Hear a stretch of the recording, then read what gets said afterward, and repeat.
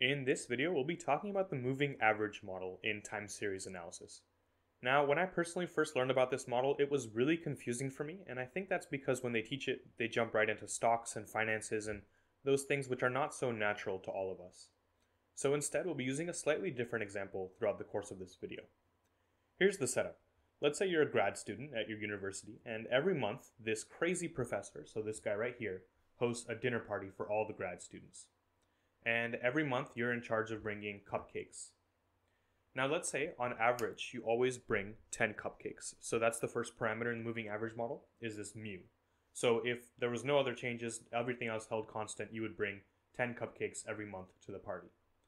Now remember this professor is crazy. So part of him being crazy is that every month he's going to say you brought the wrong number of cupcakes by some amount. And that amount, so being how many cupcakes he said you were wrong by, E sub t, is normally distributed with mean mu sub e, we're going to say that's 0, and standard deviation sigma sub e, we're going to say that's 1. So for example, he might say you're wrong by two cupcakes. You brought two cupcakes too many or one cupcake too less, or he might even say you brought just the right amount. The point is, he's uh, going to say that you brought the wrong amount, normally distributed, mean 0, and standard deviation 1. Okay?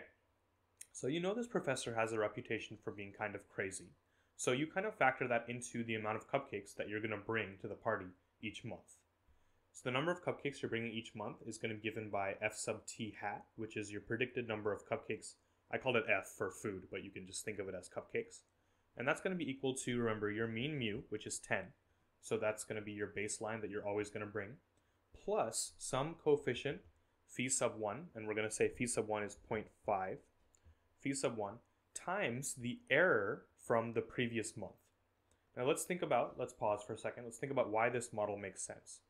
So basically this model is telling the story of I'm always going to bring 10 cupcakes to the party, but I'm going to adjust that by 50% of whatever the professor said was my error last month.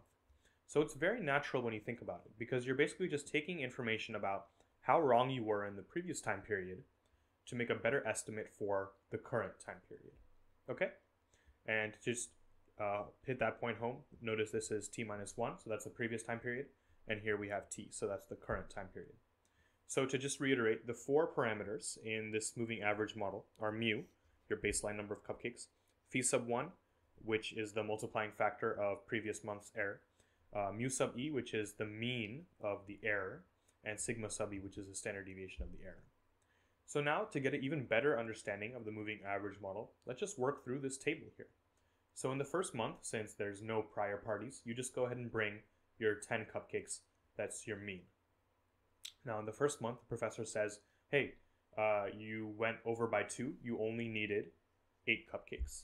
So the next month you say, okay, I'm gonna bring my 10 cupcakes, but I'm gonna take 50% of the error from last month. 50% of negative two would be negative one.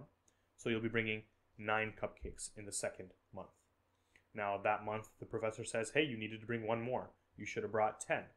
Um, so, quick notation this f sub t hat is your predicted number of cupcakes, e sub t is your the error the professor tells you, and f sub t is how many cupcakes you should have brought that month. Okay? So, in the third month, you say, I'm going to bring my 10 cupcakes plus half of what the professor said last month was my error. So 10 plus 0.5 is 10.5 let's pretend you can bring fractional number of cupcakes. It just so happens that this month the professor said you were right on point. So how many you should have brought is exactly how many you did bring. So the next month you say I'm going to bring 10 plus the error from last month uh, plus phi times the error from last month, which is 0. So that's going to be 10. Professor said you should have brought two more. Should have brought 12. Now in the last month we have on file here, uh, you're going to bring your 10 plus half of 2, which is 11. Of course, the professor, being crazy, says you should have brought one more. You should have brought 12. Okay? So now let's go ahead and plot these points. Uh, and by these points, I mean this column, which is how many cupcakes you should have brought each month. The first month, you should have brought 8. So that's going to go down here. Second month, you should have brought 10. Uh, so that's going to go right here. Third month, you're going to should have brought 10.5. So that's going to be here. Then we have 12 here. And then we have 12 again. Okay? So now, if I just crudely connect the dots between all these points, it's going to look like here, here, here, and then plateaus right there. So that's kind of what it looks like. And of course, we can keep going into future months, but something we can already kind of see is that this trend seems to be centered where? It seems to sort of be centered at this point 10 right here, right? And this gives us a clue as to why it's called the moving average model. Because we have our average of 10, but that average, it's moving all about that average, but it is still staying centered sort of over there, right? In fact, if we continue, you might see that it continues like this, like this, like this. But the point is that it's always centered at 10, okay? So that's why it's called a moving average model.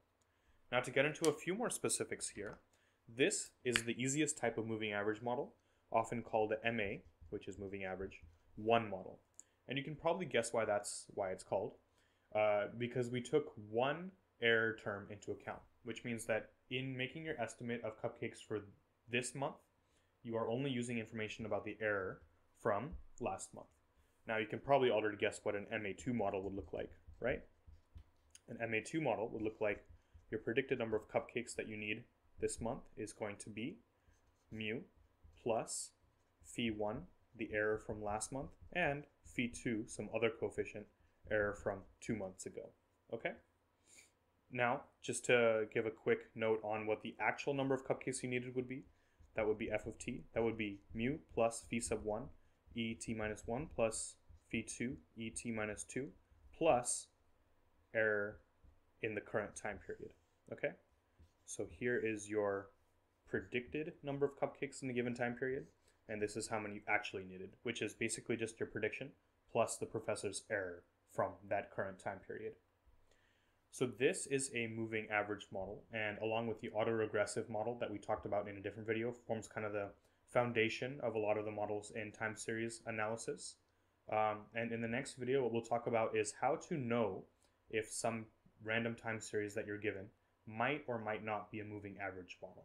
Okay, so until next time.